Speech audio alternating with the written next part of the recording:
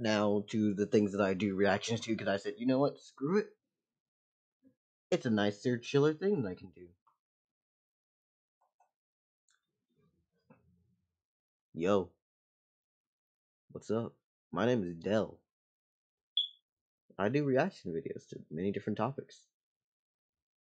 One of them being music, games, or I just play games myself, or I stream. I try to write books occasionally. I try to, and by I start them. Anyways, we're going to be watching a video by Psych2Go called, and I quote, Five, narciss- five ways narcissistic abuse changes you. Now, let's begin. Have you ever been around a narcissist? If you have, you know being around one can make you feel like your soul is being sucked dry until there's nothing left. Sanderson sister style. Sometimes we brush off this draining feeling and even change how we act to please the narcissist because we love them and in hopes it placates them.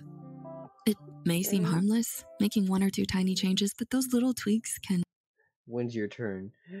Ah, you don't get a fucking turn. Your turn doesn't come around. Super? I feel like you're manifesting exactly what they're saying. take big chips out of you and who you are. Let's take a look at five ways narcissistic abuse changes who Nah, you you're fine. according to science. Number one, literal brain damage. Damn. Our brains are the most intricate and delicate of puzzles. When one part of our brain is stimulated or changed, other parts need to adjust to compensate. When you Hmm. experience consistent narcissistic abuse in your life, your brain will change to compensate for this treatment. In her article, Long Term Narcissistic Abuse Can Cause Brain Damage, author, educator, and researcher Kim Saeed explains that both the amygdala and the hippocampus are both negatively impacted by being a victim of narcissistic abuse. The amygdala, which controls our life functions and fight or flight response, can get to a point where it's constantly on, meaning you constantly feel on edge. Your hippocampus, which is crucial for short term memory, can decrease in function the more you're exposed to narcissistic abuse. This means they can gaslight you even easier than before. These decreased brain functions are a huge way narcissistic abuse can change you. Number two. That actually makes a lot of fucking sense. Where was I? unknowingly becoming part of the cycle. If you see a young child screaming in a store, you might think to yourself, aw, they can't tell their parents what's wrong. But what if you see a teenager doing the same thing? No. Do you still have the same thought? No. Chances are your thoughts shift to what were you taught as a kid? Emily Labatut of Southern University Law Review wrote in her article on the effects of narcissistic abuse that a healthy interpersonal relationship hmm. is where the individual can see the situation from their perspective, as well as someone else's perspective. However, if your parent was a narcissist, they only saw things from their own eyes because only they are important. In 2021, this idea was proven by Sure. University of Amsterdam researchers in a study monitoring children of narcissistic parents, both on and off social media. Unless the child makes a conscious decision to stay off social media and or act differently, they're more likely to become a narcissist themselves. Oh, That's a fun idea. What if Cinderella became just Fuck like no. her stepsisters? Ugh. Let's move on. Number three Ew. forced agreeableness. We've all heard of Pavlov and his dog. Humans are the same and can be conditioned. If you are used to being around a narcissist and them getting mad at certain conversations or actions, this can condition you to act and speak in certain ways. In IMEDPub's Health Science Journal, Rivka Edery, PsyD, explains that a child with parents that are authoritative, rejecting, and traumatic towards the child can grow up with certain learned or conditioned personality traits, such as introversion, kindness, and agreeableness. Now, we're not saying that introversion, kindness, and agreeableness are bad qualities. They're not. I mean, kindness can actually be pretty useful. It helps people a lot of the time. Introvertedness is mostly okay for most situations because you can just chill and be on your own. And agreeableness, uh, I think that's actually probably the worst one out of all of them because it's just being easy to agree to other people's fucking ideas is stupid. Oh yeah, little fact about me. The Psych2Go videos are where I start voicing my opinions on mental things, which means that you're gonna see um, opinions from me that you probably won't get to see on others' videos.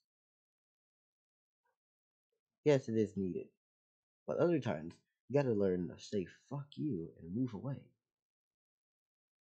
Agreeing with a lot of people isn't always that great. It is great in default, but you also have to know when to not.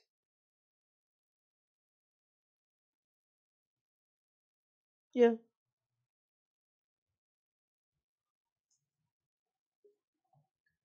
However, they can be negative when you act this way to stay out of a narcissist's crosshairs. Number four, PTSD, but for narcissistic abuse. Abuse comes in all shapes and sizes. When you're experiencing narcissistic abuse consistently, it's possible that you can develop a sort of post traumatic stress response. This response is called narcissistic abuse syndrome or Hmm. narcissistic victim syndrome. Registered psychologist, registered social worker, and writer Shirley Porter lists the symptoms of narcissistic abuse syndrome as confusion, fear, guilt, shame, low self esteem, and reduced self confidence. So, the longer you're around a narcissist and their abuse, the more at risk. What a well thought out name. I mean, I think the better the names are, or the more simple they are. Because they shouldn't be like medicine names, where they're just fucking spells. You're casting Harry Potter spells whenever you buy medicine from a pharmacy. Bro, like, just make the name simple. What is this? Narcissistic abuse syndrome. Okay, cool. I understand exactly what the fuck that means. Dumb period. Don't know what the fuck that is.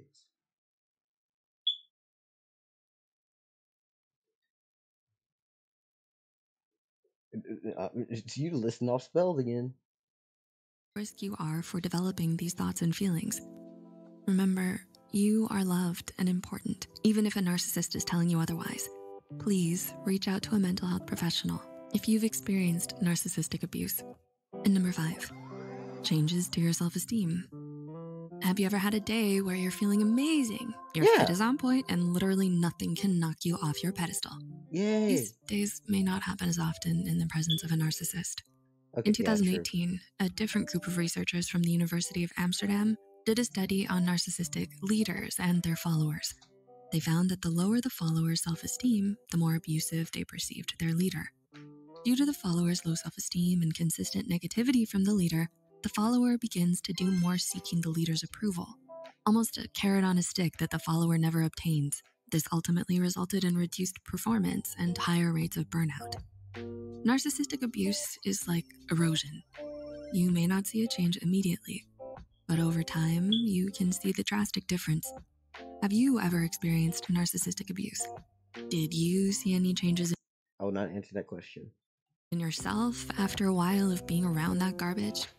Let us know your story in the comments below. We have more videos on signs of narcissistic abuse here if you want to learn more. As always, keep an eye on Psy for more Psych2Go content, and thanks so much for watching. That was the end of this video. Thank you for coming through.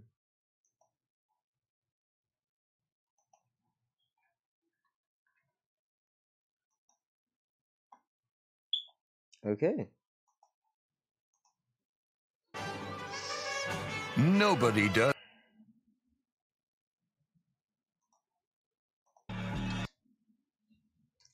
Please, 954 Mari, I need you to